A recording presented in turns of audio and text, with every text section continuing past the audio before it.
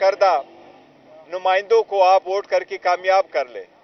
और इन ताला जो सीटें जो अभी पेंडिंग में रखी थी दो दिन के अंदर अंदर उसको रिव्यू को करके फाइनल हो जाएगा पंजाब के हद तक। बाकी हम सारा ये समझते कि सुप्रीम कोर्ट की जो डिसीज़न है जिसने हमसे बल्ला ले लिया उससे 25 करोड़ अवाम की बुनियादी हकूक मुतासर हुए हैं। और ये जमहूरीत के खिलाफ एक साजिश कामयाब हुई है। ये जमहूरीत का बहुत बड़ा नुकसान इससे हुआ है और इससे करप्शन की एक इब्तदा होगी। लेकिन जो सुप्रीम कोर्ट का फैसला आखिरी है यही पे अमल होगा। लेकिन इस सिलसिले से हम रुकेंगे नहीं और न बॉयकाट करेंगे। इनशाला हम फुली पार्टिसिपेट करेंगे।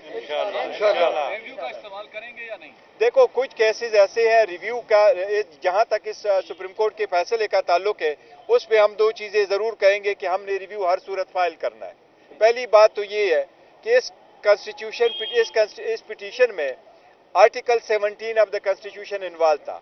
क्या किसी पॉलिटिकल पार्टी से निशान वापस लिया जा सकता है या नहीं? और इसी सूरत में आर्टिकल 17 बड़ा अहम था। अगर आर्टिकल 17 अहम था तो तीन मेंबर बेंच सुप्रीम कोर्ट का इस केस को नहीं सुन सकता था। इस केस को सुनना था पाकिस्तान सुप्रीम कोर्ट के पाँच मेंबर बेंच ने। इसीलिए कुछ इसमें अदरवाइज़ भी फैक्चुअल ऐसी गलतियाँ हैं जो हम समझते हैं कि ये सुप्रीम कोर्ट के पास रिव्यू में आना ज़रूरी है। तो इन ताला इसके खिलाफ रिव्यू भी हम सुप्रीम कोर्ट में फ़ाइल करेंगे। आज वो भी डिस्कशन हुई है। हमेशा कहा कि घबराना नहीं है बल्ला भी छिन गया है।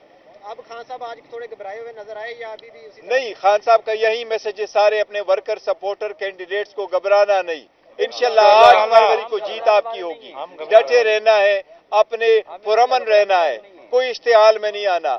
डटे रहना है अपने वोट का हिफाजत करना है, वोट का सही इस्तेमाल करना है, आठ तारीख को ज़्यादा से ज़्यादा तादाद में निकलना है। इनशाला तीन दिन के अंदर अंदर हम आप अपने वेबसाइट पे फेसबुक पे ट्विटर पे टिकटॉक पे सबको इनशाला अपने ऑफिशियल पीटीआई के अकाउंटों से तस्वीरों के साथ आपको नुमाइंदे बताएँगे कि यही हमारे नुमाइंदे और ये उनकी जो है ना निशानात है। अच्छा आपने उनको वोट देना ये हमारी अपील है आपसे।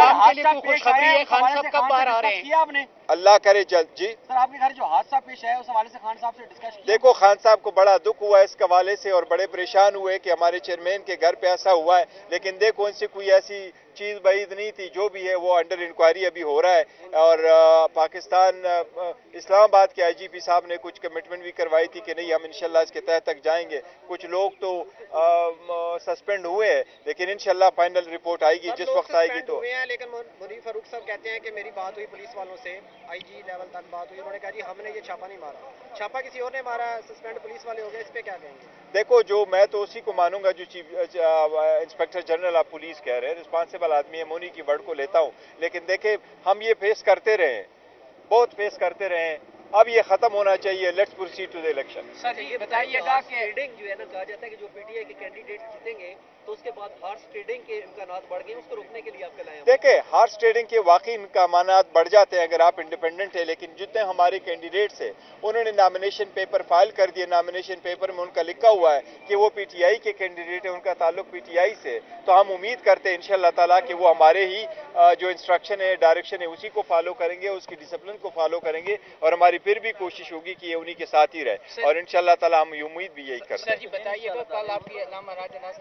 मुलाकात हुई है। क्या उस उनके इसी हवाले से तो आपकी बात नहीं है कि हाथ ट्रेडिंग को रोकने के लिए उनके साथ फिर आप जो है ना इलाहा करने जा रही है? नहीं मेरी कल मुलाकात नहीं हुई उनके साथ। आवाम के लिए खुशखबरी है क्योंकि बताया जा रहा था पंद्रह तारीख को खान साहब बाहर होंगे।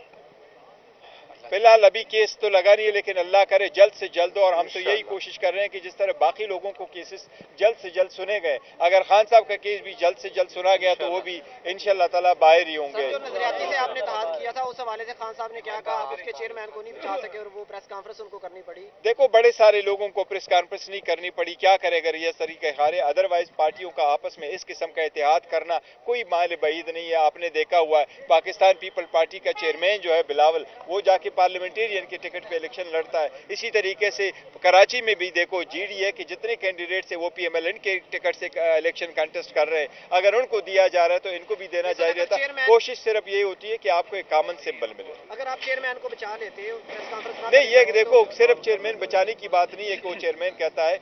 लेकिन वो इलेक्शन कमीशन ने एक नोटिफिकेशन भी साथ इशू किया है कि एक पार्टी का दूसरी पार्टी के साथ ऐसी सूरत हाल में आप उसका निशान इस्तेमाल नहीं कर सकते। ये एक अलग बात है अगर हम उसको चैलेंज करेंगे लेकिन चूँकि ये आखिरी दिन था आखिरी दिन के बाद it would be now too late मैं समझता हूँ जो कल तक हुआ वो पास्ट है वो माजी है वो के सैफारीनी आए। Let's proceed now to the future अब कुछ नहीं हो सकता प्रोसीड करके टिकटों की तकसीम के हवाले से की के से देखे जो पंजाब है के पी केपीके में कोई तकसीम का हवाला नहीं आ रहा। सिंध में भी हमारे हिसाब से कोई नहीं आ रहा। बलूचिस्तान में भी कोई सारी कंसेंसस है। पंजाब के हद तक कुछ शिकायत आई हैं लेकिन कैसे आई हैं?